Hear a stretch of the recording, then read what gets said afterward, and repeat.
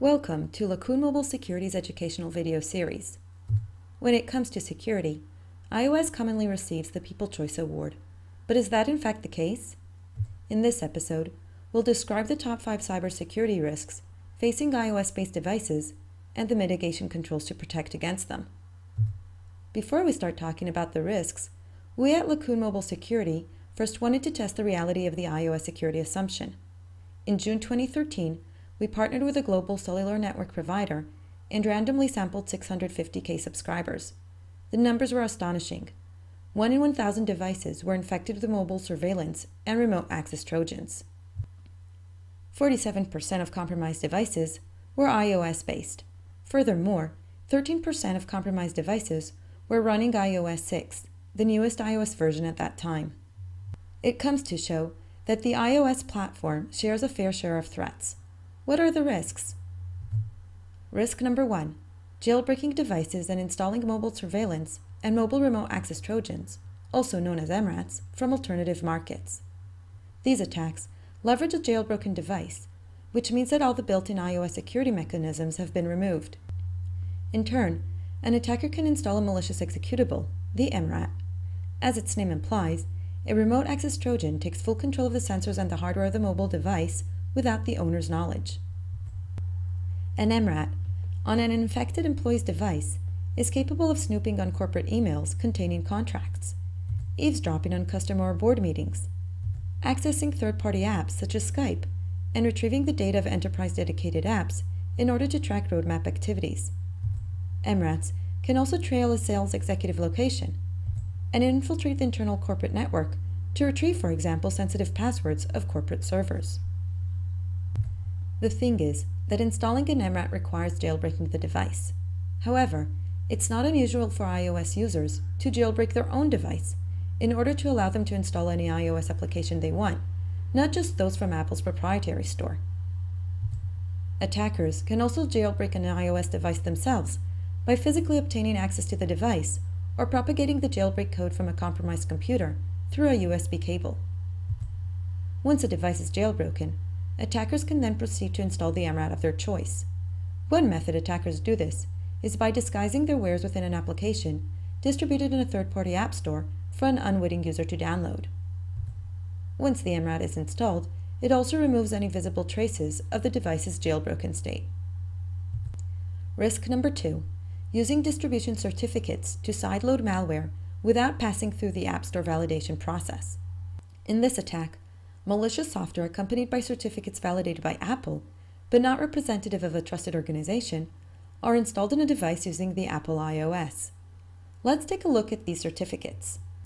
Apple grants two different third-party certificates to organizations that agree to adhere to Apple's guidelines. There are developer certificates, which allow developers to test their apps before they go public on the Apple App Store, and enterprise certificates, which provide organizations the opportunity to establish their own in-house marketplace for dedicated apps. Behind the scenes, Apple validates an app is signed by a trusted certificate before allowing it to be sideloaded on the device. In other words, Apple verifies that the app can be installed not through the Apple App Store. If attackers are able to obtain a certificate, they can use it to validate their malware and install it on any iOS-based device without passing it through the App Store's vetting process. It's important to note that given the volume of apps, it is very difficult for Apple to monitor the use of certificates. As a result, attacks have started to emerge, such as the FinFisher MRAT, which uses these certificates. Also in this attack, the malware can act as an MRAT, enabling the attacker to take full control of the device. Risk number three, malicious profiles. In this type of attack, an attacker tricks the user to install a device configuration profile, which changes the device and network settings. A user is typically tricked to download a malicious profile. By doing so, the user unknowingly provides the rogue configuration the ability to reroute all traffic from the mobile device to an attacker-controlled server, further install rogue apps, and even decrypt communications. The disturbing reality is that attackers are not the only ones distributing profiles to reconfigure the device settings. Also, legitimate and popular companies have found profiles a viable way to enhance their offering. This, for instance, is what LinkedIn does with its LinkedIn intro. LinkedIn Intro is a configuration profile which reroutes incoming emails through LinkedIn servers in order to add the sender's details to the received emails. Risk number four Wi Fi man in the middle attacks. In these attacks, the user usually believes that they are interacting with a known trusted entity, typically a website. Behind the scenes, however, the adversary can eavesdrop on the session. An attacker can even alter the encrypted network's communications, ISSL, by using spoofed certificates or downgrading the communication link. In effect, the communications become completely open to the attacker. Man in the middle attacks exist also in the PC world.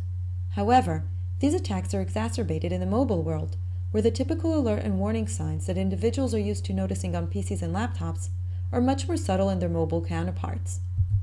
More so, with limited screen real estate, URLs are hidden from the user, so it's harder for them to validate that the URL the browser is pointing to is actually the intended one. Risk number five zero day system vulnerabilities and WebKit exploits. The risk here is of system vulnerabilities that are exploited to allow the attacker to jailbreak the device without leaving any trace. Many times, these vulnerabilities lead to the silent installation of MRATs on a device through a remote exploitation technique.